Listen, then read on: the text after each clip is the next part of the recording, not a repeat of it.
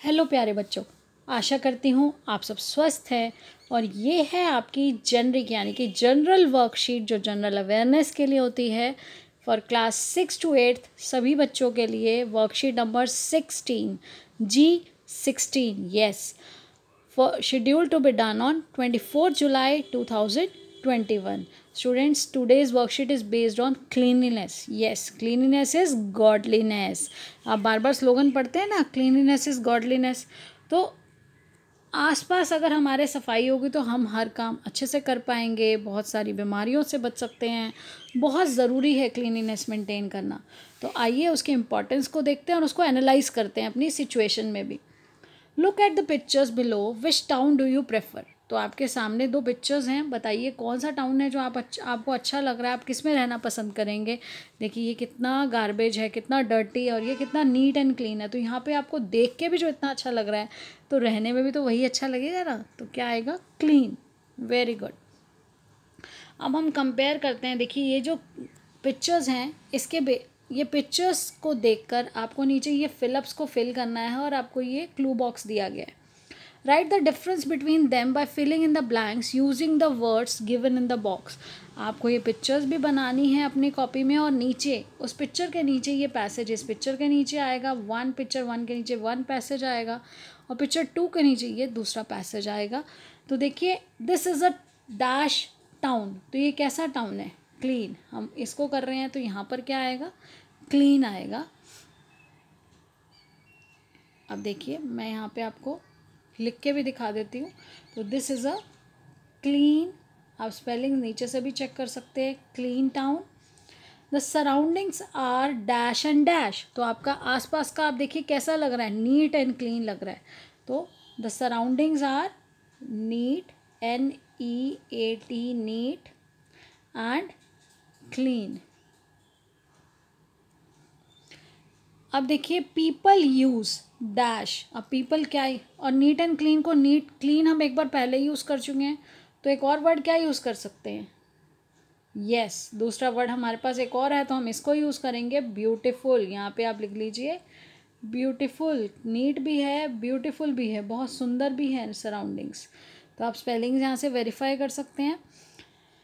People use लोग क्या use करते हैं? ये देखिए, ये डस्टबिन बना हुआ है, उसको क्लीन रखने के लिए क्या ज़रूरी है? क्या यूज़ करना चाहिए उन्हें? People use dustbin D U S T B I N people use dustbins तो ये रहा dustbins people use dustbins to keep the surrounding clean लोग डस्टबिन का इस्तेमाल करते हैं सराउंडिंग को अपने आसपास सब कुछ साफ़ सुथरा रखने के लिए। अब देखिए, दूसरा पैसेज है। दिस टाउन लुक्स वेरी कैसा लग रहा है? डर्टी तो अब आपका ये फ़र्स्ट इसमें आपका आ जाएगा dirty there is dash all around the place चारों तरफ़ क्या दिख रहा है आपको? गार्बेज क्या है? चारों तरफ़ ये कूड़ा है garbage people dash use the dustbin to D to dash the garbage वो यूज़ नहीं कर रहे हैं, तभी तो इधर उधर फेंका हुआ ना डस्टबिन होते हुए भी उसके अंदर नहीं डाला हुआ.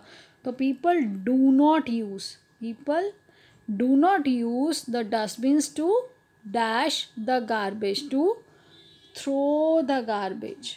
तो बेटा मैंने यहाँ नंबरिंग इसलिए किया ताकि आपको वो स्पेलिंग इजीली समझ आए। नीचे के वर्ड्स उसमें छुप जाते हैं। जैसे फ़र्स्ट पैसेज में था तो इसीलिए मैंने यहाँ पे आपको नंबरिंग करके दे दी है कि नंबर वन में क्या आएगा? डर्टी नंबर टू में आएगा गार्बेज नंबर थ्री में डू नॉट और नंबर फोर में थ्रो कि लोग थ्रो नहीं करते गार्बेज डस्टबिन में। How do your surroundings look like अब आपकी सराउंडिंग्स कैसे दिखती हैं? तो क्लीन है, अगर आपकी सराउंडिंग क्लीन ब्यूटिफुल आप ये वर्ड्स यहाँ पर यूज़ कर सकते हैं। How can you keep your surrounding clean let us answer this question by choosing the correct options to fill in the blanks तो आप अपनी सराउंडिंग्स को कैसे हेल्दी क्लीन रख सकते हैं? देखो, ये दो आपको पिक्चर्स दी गई हैं।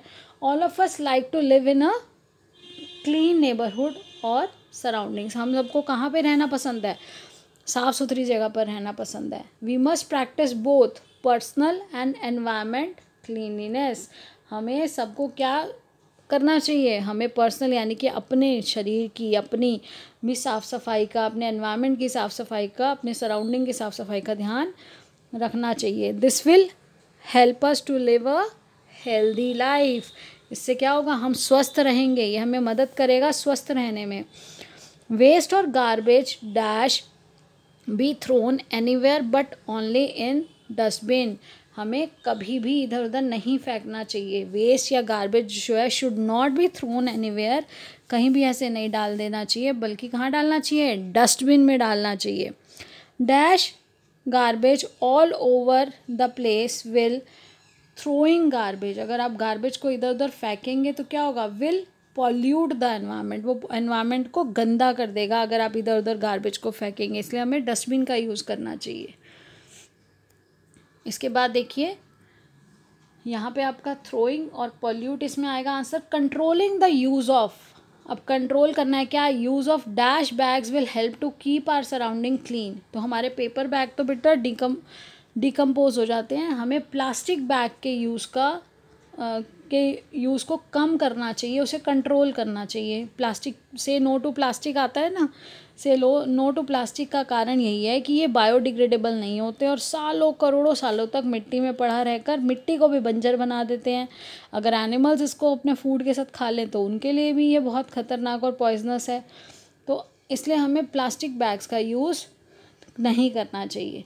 One should use recycled and dash eco friendly या प्लास्टिक प्रोडक्ट्स देखो वन शुड यूज़ हमें यूज़ करना चाहिए रिसाइकल्ड जो एक बार यूज़ करके फिर दोबारा यूज़ करने लायक बनाई जाती है, जैसे जूट है पेपर है इको फ्रेंडली प्रोडक्ट्स जो हैं तो इसको बोलते हैं eco friendly products like paper और jute bags instead of plastic one हमें प्लास्टिक की जगह चीज़ों की जगह क्या यूज़ करना चाहिए? हमें इको फ्रेंडली चीज़ों का इस्तेमाल करना चाहिए। तो आपको आंसर पता चल गया, ये आपका सही आंसर है eco friendly dash causes land air and water pollution तो बेटा इधर उधर जो हम फेंक देते हैं सैनिटाइजिंग नहीं लिटरिंग जो हम इधर उधर सब चीज़ें फेंक रहे हैं, उससे लैंड पॉल्यूशन मृदा का भी प्रदूषण होता है, हवा का भी प्रदूषण होता है और पानी का भी प्रदूषण होता है तो लैंड एयर और वाटर पॉल्यूट होती है, अगर हम इस तरह से जगह जगह ये गार्बेज और सब फेंकेंगे तो तो उससे वो सब डर्टी तो होगा ही, साथ में पॉल्यूट कर देगा उसको। एनवायरनमेंट को.